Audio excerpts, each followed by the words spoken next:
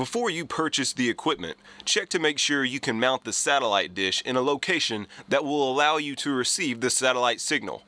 In the regions of Germany, Benelux, and Italy, this means a clear view of the sky at 170 to 180 degrees azimuth. 180 degrees is due south, and an elevation of 30 degrees, about one third of the way up from the horizon. The view must be unobstructed because the satellite signal will not go through buildings or trees. Once you are reasonably certain you can mount a satellite dish where it can receive the satellite signal, you will need to get the proper equipment. AFN decoders along with the satellite dish and parts are available for purchase from your local exchange. This parts list will include a satellite dish with a diameter of at least 80 centimeters, a scientific Atlanta decoder or the all-new Cisco HD decoder receiver from the exchange or a used one from another authorized user. An American Standard television, enough coax satellite cable to connect the dish to the receiver. The equipment is available at AAFES or most stores that sell electronics either a coaxial cable to connect the TV out from the satellite receiver to the cable input on your television, or RCA cables to connect the video audio connections from the satellite receiver to the same type inputs on your television, or an HDMI cable if you have the Cisco decoder and a TV with HDMI inputs. This means that you will have to switch to the video or auxiliary input on your television to view AFN. The first thing you want to do when you get the satellite receiver is request an authorization. You will need the TID and UA numbers from the back of the satellite receiver. With this information, you will need to get online at afnconnect.myafn.dodmedia.osd.mil. Type the TID and UA numbers within the boxes provided, and then click Next. After you click Next, it will ask you to fill in all your information. It requires a government email address of some kind. Once all the information has been entered, you will want to submit the document. Set up the decoder.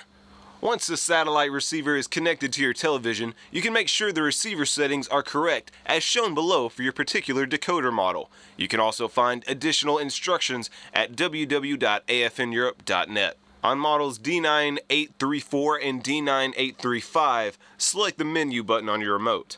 From the main menu, enter the preset LNB. Make sure the settings are as follows. Set up the dish. Now that the settings are correct, you are ready to set up the satellite dish. This dish has to be securely mounted so it cannot move. You can get mounting hardware to fix the dish to the walls, to balconies, to posts, and poles.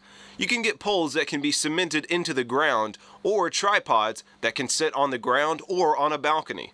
Mount the dish on something solid. If you get a tripod, weight the tripod down so it will not move. The cable coming from the satellite dish can enter the home through a hole, window windowsill, or doorway. Do not crush or kink coax cable. If you bring the cable through a window or doorway, use a flat cable. This is a short piece of cable, usually 8 to 12 inches, with female connections on both ends.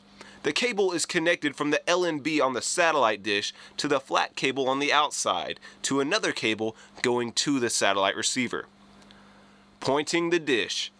Once the dish is mounted and the connections are made, you are ready to align your dish on the satellite named Eurobird 9A. You begin with the azimuth, or the compass direction, and elevation for the location listed below that is closest to you. 15 to 20 kilometers is just fine. Use a compass to select a landmark at the proper azimuth for your location. Then point the dish as accurately as you can at that landmark. Set the elevation using the hash marks and pointer on the dish mount. This is only a rough dish pointing.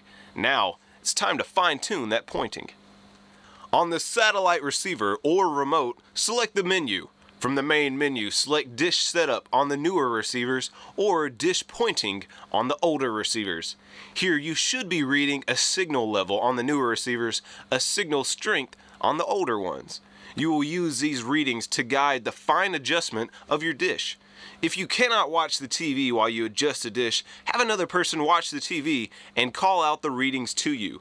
Use cell phones if necessary. Loosen the mount just enough so you can move the dish in tiny increments. Grab the dish and move it just slightly to the left or right. The signal level should either go up or down. If it is going down, move the dish in the other direction. If it is going up, you are moving in the right direction. Adjust the dish in small increments until the signal level peaks. You will invariably move past the peak and have to back it up.